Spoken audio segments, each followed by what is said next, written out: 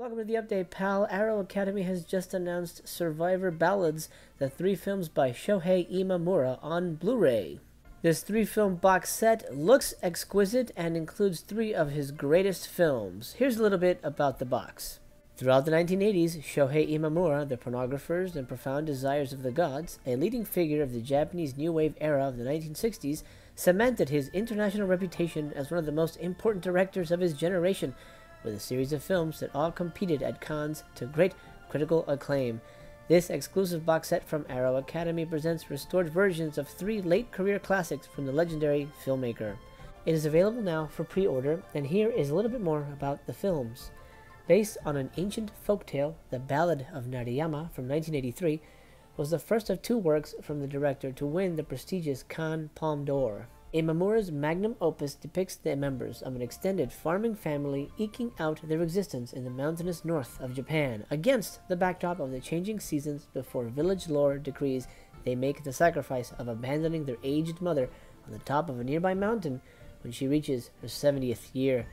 Making its HD debut, Zegen, 1987, takes a satirical look at Japan's pre-war colonial expansion through the unscrupulous eyes of its flesh peddler antihero as he establishes a prostitution enterprise across Southeast Asia.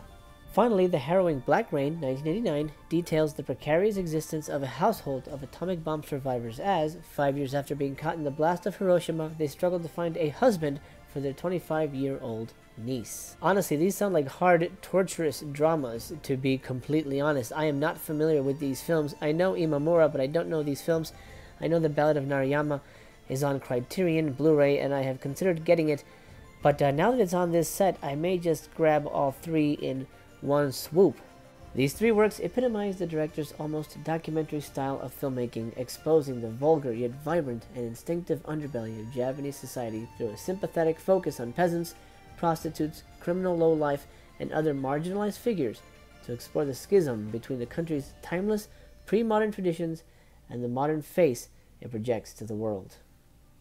Limited edition contents, of course, include restored high definition Blu rays of all three films, uh, lossless Japanese PCM mono soundtracks, optional English subtitles, of course, those will not be optional for most of us, brand new audio commentaries on all three films by Japanese cinema expert Jasper Sharp, brand new in depth appreciation of all three films by Tony Rayns, alternate color ending to Black Rain, shot by Imamura but removed from the film shortly before its release. That's interesting archival interviews on Black Rain with actress Yoshiko Tanaka. And oh wow, assistant director Takashi Miike. No shit. That's awesome. And For those of you who don't know, Takashi Miike is one of the most prolific Japanese filmmakers out there, and he's still working, making amazing movies. Uh, the original Japanese press kit for Ballad of Narayama and Black Rain, that's going to be on a BD-ROM.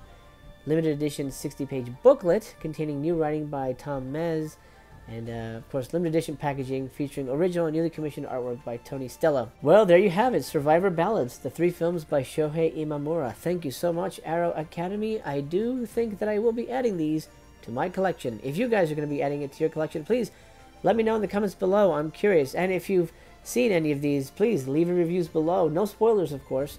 I'd uh, love to get your impressions on these three films by Shohei Imamura. This sounds like a, a beautiful collection, gorgeous box set there, and uh, I think this belongs on my shelf. And if you don't have it and it uh, tickles your fancy, then it definitely belongs on yours. Well, that'll do for today. Until we meet again, I hope this video finds you well. I'll see you next time, but until then, this is your friendly neighborhood Master Chaos signing off. Take care.